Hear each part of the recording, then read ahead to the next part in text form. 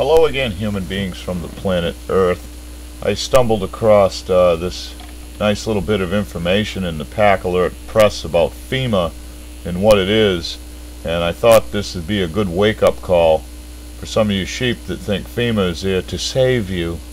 Uh, okay, on with this. What is the Federal Emergency Management Agency? Simply put, it is a secret government.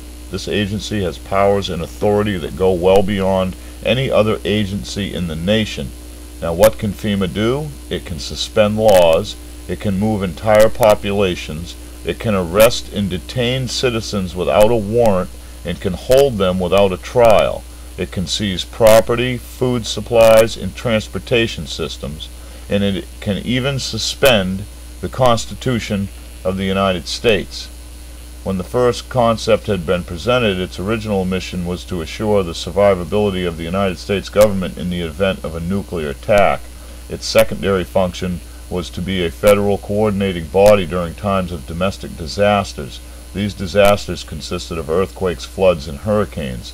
The secret black helicopters that are reported throughout the United States, mainly in West California, Washington, Arizona, New Mexico, Texas, and Colorado, areas are flown by FEMA personnel. It has been given the responsibility for many new national disasters such as forest fires, home heating emergencies, refugee situations, riots, and emergency planning for nuclear and toxic accident incidents.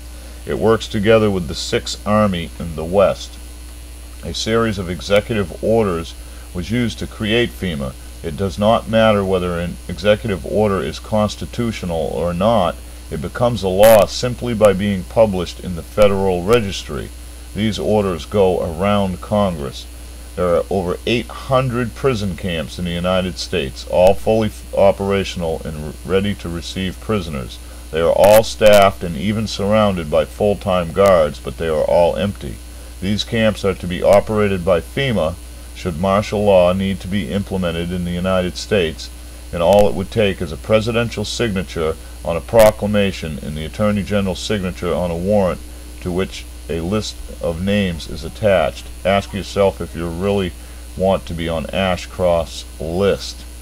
Now I'm going to link you to the post below because it's quite intensive and there's a bunch of executive orders that will wake you up to the fact. Um, but I want to reference the 800 FEMA camps. 800. 800 FEMA camps. Fully operational. Oh, but they're just there to save us. Bullshit. Obama has everything he needs right now for martial law. Between the Occupy movement and the natural disasters that he has claimed he's spread FEMA out uh, across this entire country. I saw last winter uh, FEMA responding to Massachusetts snowstorms. They got six inches of snow. Big fucking deal. I lived in New Hampshire and Massachusetts. I know what a winter there could be like. You could get 18 inches of snow. It's not an emergency. It sucks a little bit. Slows things down for a couple days. But there is no fucking emergency. Anything and everything that FEMA can justify. And of course, when they're coming to your town and handing out money to rebuild and fix, everybody loves it. Just gives them another inch in the door, another foothold on another corner of the country. We're fucking surrounded right now. The country is surrounded by FEMA representatives. And you heard from the Post how much authority they have. Your local sheriff can't even do anything about FEMA. More power than an FBI agent. It's ridiculous. You're surrounded. And when I put out eight months ago or whatever it was, we would have martial law by the end of the coming summer, I was absolutely right. We, by executive order, are technically under martial law right now. And if it gets made any more official, well, then we just won't have an election this year, will we? Wake up, people. Obama's scrambling. He knows he's going to lose, but he also knows that he has everything he needs to stop the election. Time to start waking up, making preparations. Now, up until this point, I have not endorsed stockpiles of guns. But I think I'm changing my mind about that. It's become very clear to me that peaceful is not going to protect. They're running rampant. They're, they have control of everything. And this house of cards is about ready to fall.